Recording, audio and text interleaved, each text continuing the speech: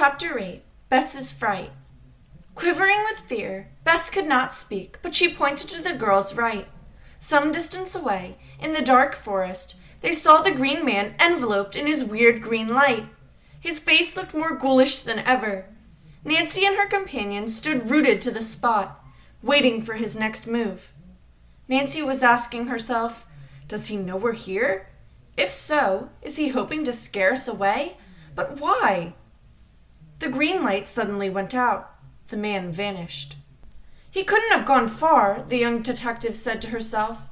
I'm going to find out where he is. She signaled the others to follow her as she made her way along, swiftly but noiselessly. Everything went smoothly for about a hundred feet. Then Bess, who was reluctantly bringing up the rear, stumbled over a tree root and fell down. Involuntarily, she gave a little cry. The others stopped walking and looked back. Bess was picking herself up and waved that she was all right.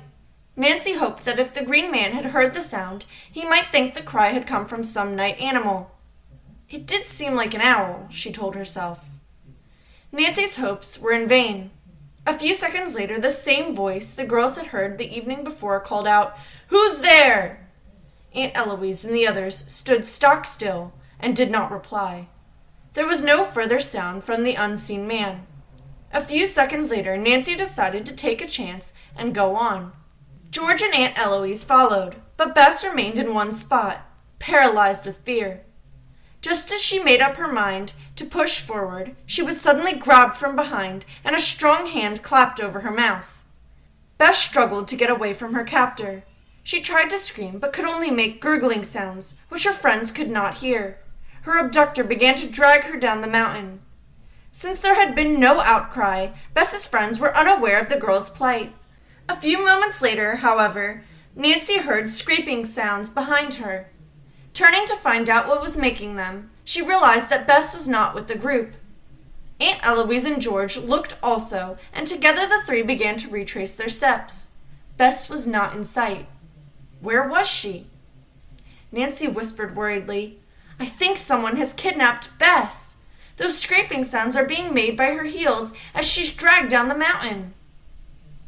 The searchers turned on their flashlights and hurriedly followed the sounds. The abductor stayed on the trail. In a few moments, Nancy saw Bess ahead of them. A masked figure was clutching her around the arms and had a hand clapped over her mouth. Stop that! Aunt Eloise shouted, running as fast as she could over the uneven ground. At once, Bess's captor dropped her, turned, and ran pell mell down the hill. As Nancy and the others rushed towards Bess, the young detective kept wondering why the man had taken that route. Could he be the Green Man, or someone in league with him? There was no time for further speculation. By now, the kidnapped girl was sitting up and declared she was all right. But my legs are too wobbly for me to stand yet, she confessed. We'll carry you back to the cabin, George offered. I'll be all right, Bess insisted. That guy didn't harm me. Give me a few minutes to collect my wits. I've had a pretty bad scare. I'll say you did, Aunt Eloise agreed. We'll sit here for a while. When you feel like talking, tell us exactly what happened. Nancy spoke up. I'm sure neither the Green Man nor his cohorts will expect any of us to go back to that area. I'd like to sneak up to it and see if I can learn anything. As Aunt Eloise started to object, Nancy added, I'll be careful, really, I will. It isn't far from here, and you'll know where to find me if I don't return. Miss Drew finally consented, but insisted that Nancy return within ten minutes. Otherwise, they would investigate. I'll be here, her niece promised. Nancy turned off her flashlight and disappeared among the trees. Instead of going up the regular path and turning right, she took a shortcut directly to the area where they had seen the green man. Within a short time, she was at the spot and stood still to listen. Were her ears deceiving her, or had she heard voices? Yes, I did, she said to herself. From somewhere nearby, she could clearly detect a subdued conversation. A man said, I don't want people coming around here. Do you understand? It's too dangerous. Sam, you're in charge of security for this project. You've got to do a better job than just looking spooky. There was a long pause. Then Sam replied, Listen, Mike, your way would bring the police to our headquarters in no time, and you don't want that. This remark was followed by a long silence. Nancy could not hear a sound. No lights, no men appeared from anywhere. I'll investigate this place in the daylight, the young detective told herself. It might be a good idea to mark the spot. She reached up to the tall pine alongside which she was standing and broke off a good sized piece of bark. That should be enough identification when I return, she decided. Nancy quickly hurried back to her friends, who looked relieved, and excitedly whispered to them what she had learned. There is something underhanded going on in this area, Bess remarked as she stood up and started trudging down the hillside. Well, I, for one, refuse to come here again, and I advise all of you to stay away also. Let the police solve this mystery. The group discussed whether or not Bess's near abduction was cause for getting in touch with the authorities that night, but after discussing it several minutes, they decided to let the incident pass temporarily.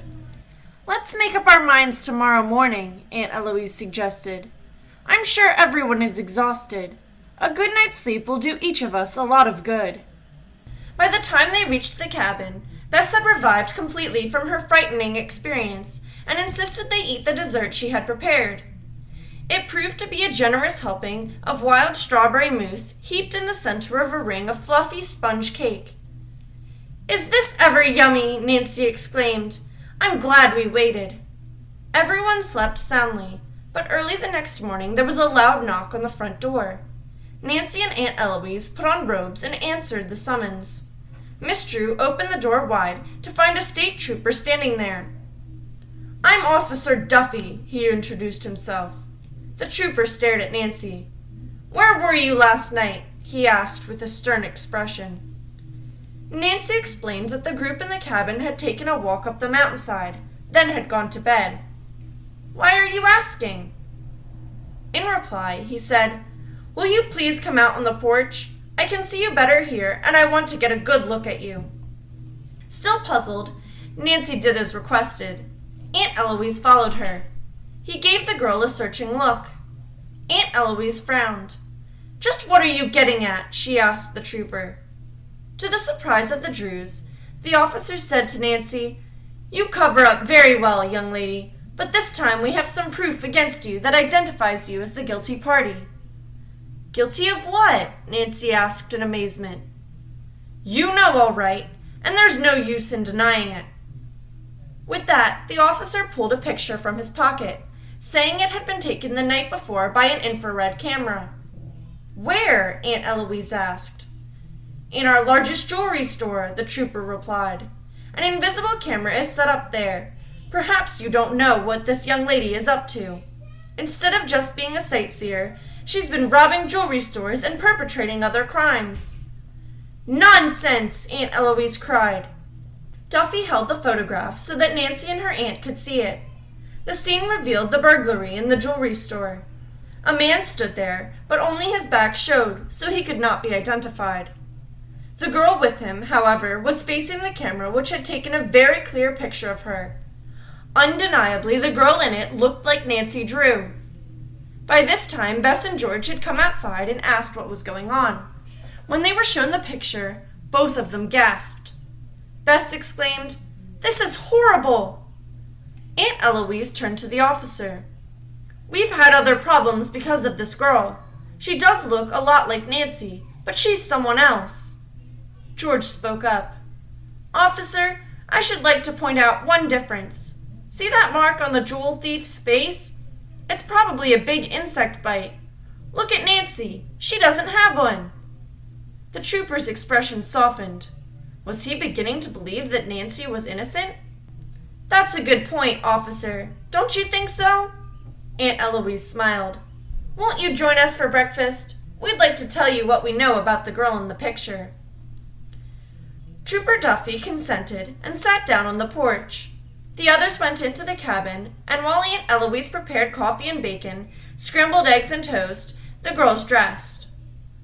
The group ate picnic style while Bess told of her harrowing experience the evening before and the appearance of the Green Man. The officer pulled a notebook from his pocket and wrote down a few facts. Nancy said to him, Would you have time this morning to accompany me to the area we've been talking about? I can find it easily, and I have an idea that possibly the girl thief may be hiding there. The trooper nodded. I'll be glad to go. About half an hour later, he and Nancy started up for the mountainside.